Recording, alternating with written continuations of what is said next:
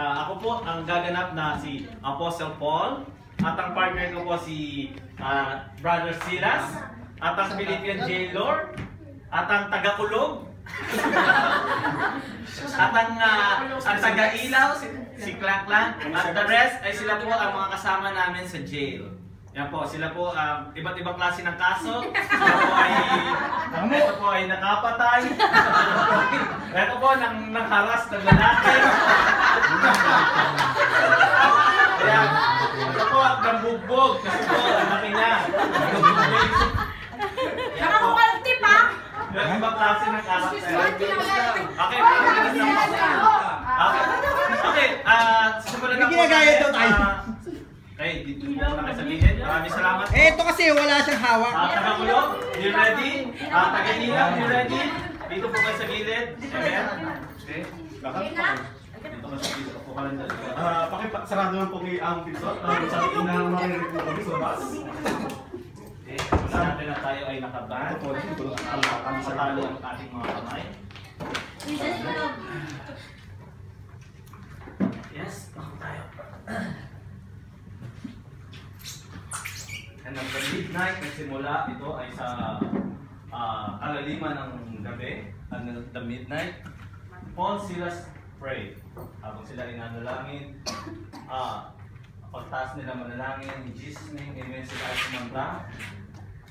To God be the glory, great things He hath done. So loved He the world that He gave us His Son to give that His life for the atonement gate that all may go in. Praise the Lord! Praise the Lord!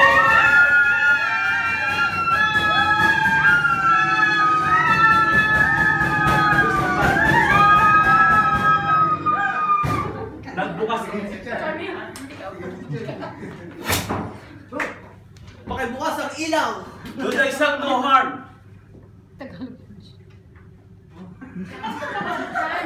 Okay.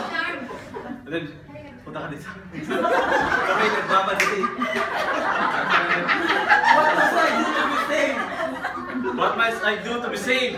Yes. Believe on the Lord Jesus Christ, and thou shalt be saved, and thine house. Amen. Amen.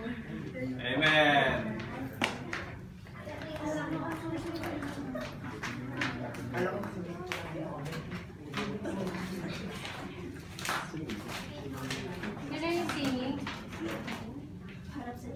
Judges, ito na po yung singing nila.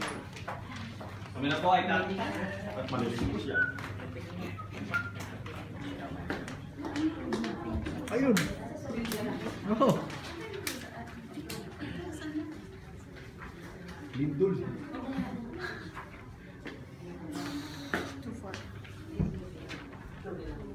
Nahilo na ako. Aray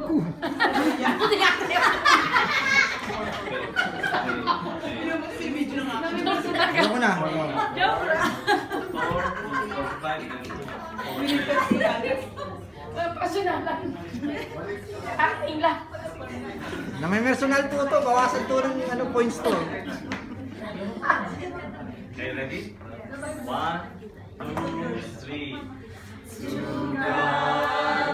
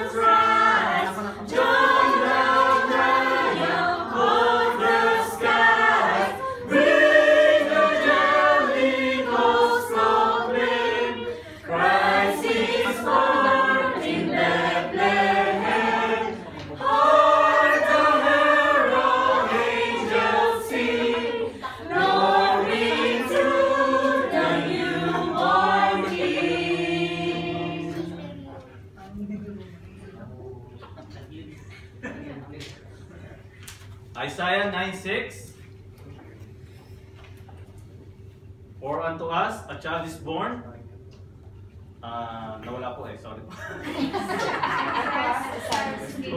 For unto us a son is given. Ano po sunod? Google. Googles mo. Ulit, ulit, ulit, ulit. Okay. For unto us a child is born, unto us a son is given, and the government shall be upon his shoulder, and his name shall be called Wonderful, Counselor, the Mighty God, the Everlasting Father, the Prince of Peace. Isaiah 9:6. Amen.